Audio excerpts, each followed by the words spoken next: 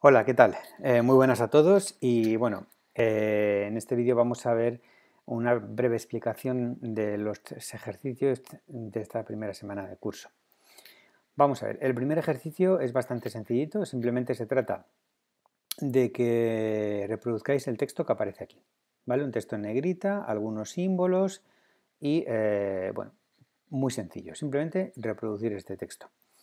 Siguiente ejercicio que tenemos, vamos a la página siguiente. Eh, el siguiente ejercicio son simplemente conceptos muy básicos. Eh, colocar el texto manual de LaTeX centrado en la página, ¿vale? Y eh, la palabra LaTeX de esta manera, ¿vale?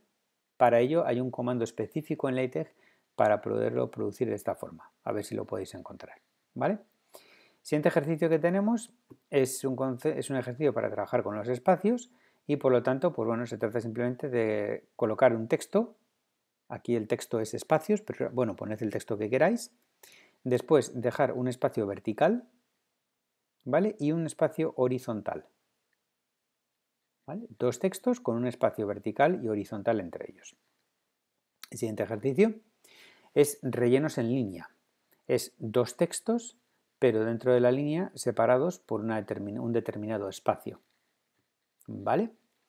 Siguiente ejercicio, listas. Vamos a generar una lista parecida a esta. Podéis generar exactamente esta o alguna parecida.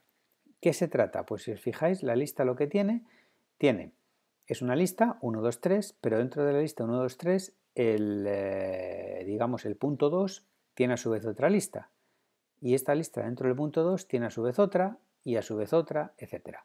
¿Vale? Es decir, es anidar unas listas dentro de otras, ¿vale? Para que podáis practicar con eh, la manera de hacer listas que tiene LaTeX. Tablas, muy fácil. Generar una tabla parecida a esta. ¿De acuerdo? Una, una tabla parecida a esta que aparece aquí. Y según os tenéis en la presentación de la primera semana, tenéis la instrucción para que en lugar de por defecto eh, cuadro, en, la, leyenda de la tabla, aparezca tabla, ¿vale?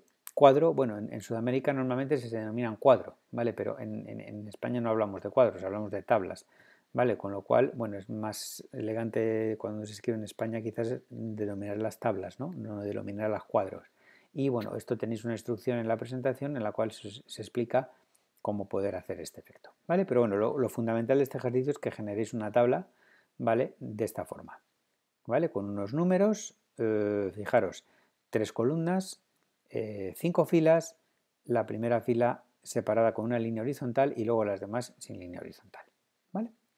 Bueno, pues nada, mucha suerte y como siempre estaré a vuestra disposición para resolver todas las dudas que tengáis de esta primera semana de curso.